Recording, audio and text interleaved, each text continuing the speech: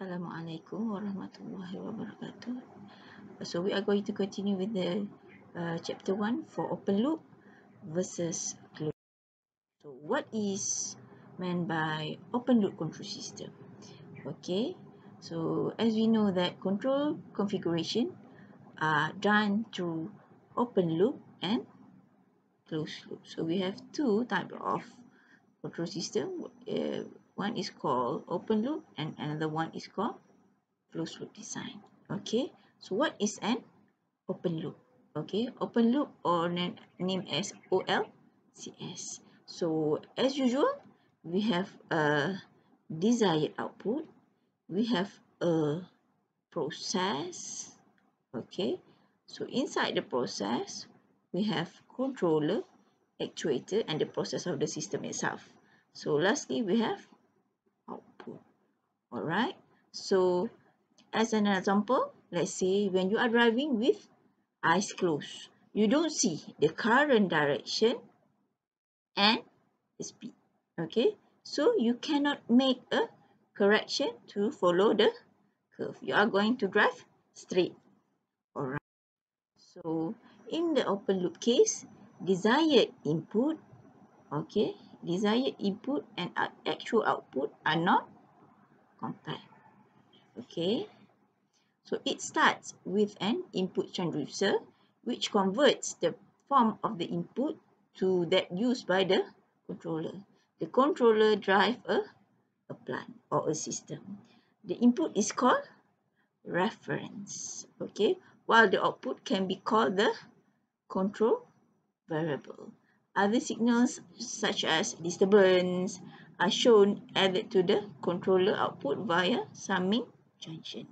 Open loop system have some disadvantages in dealing with sensitivity and, and disturbance. Okay, so let's say you have input, you have controller, and you have disturbance one. So the process uh, or the system will do their work. Next is you have the another disturbance. So uh, after that you have the output. Unfortunately, your output is not following the desired input. Okay, that is what we call is not compact. Alright, so as an example, open loop control system is um, toaster. Okay, you put the bread inside the toaster, which is you have set the timer so the thermostat will do the process and so on. So which is including the warmth inside the toast and the heating toasted and the bread will come out whether nice or burn. Alright. Okay, so this is another example of open loop control system. You have uh, you have set the speed of the rotating disc. Okay, so the controller will do their work, the actual, so also the actuator and the process of the system itself and you will get the speed as the output. But it may be the speed is not following what is your desired setting.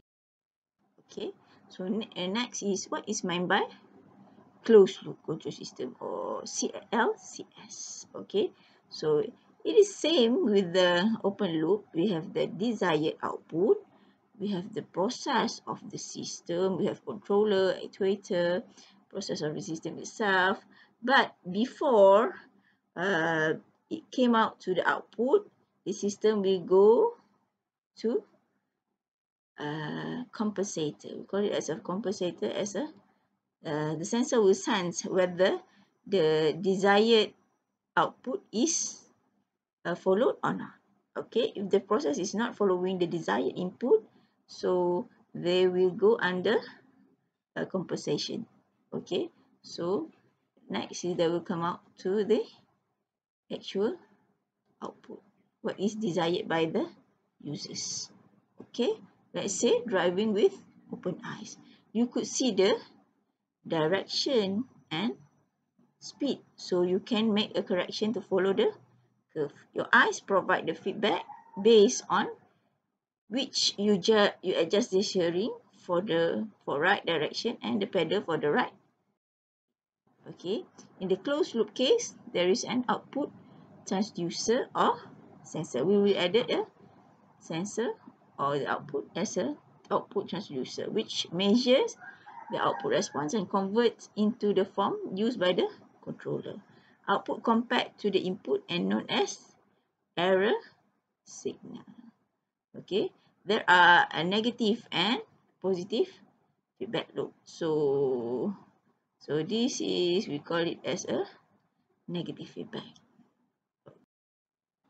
So let's say we have same example uh, which is rotating this but we add on the sensor okay as a feedback this sensor will be a feedback okay so another example is automobile steering control system alright so we have a, a desired cost of travel so we have drivers, we have steering mechanism and car, the car itself. Okay, so we have the response. Alright. So error signal relationship with the input and output is error, which is uh, error in time domain equal to uh, R minus C. So this is another uh, detailed example. Alright, okay, so we can uh, group the open loop of the closed as a toaster is one of the example of uh, open loop. Alright, burglar alarm, giving birth, and so on. So for the closed loop, let's say we have iron, car cruise control, elevators and cardiovascular system. Okay, so the comparison between open loop and closed loop system. So the open loop is uh, simpler, cheaper, but it cannot compensate for disturbance and cannot correct the output. Okay, compared to closed loop, which is more complex. Okay, so required more components, all right?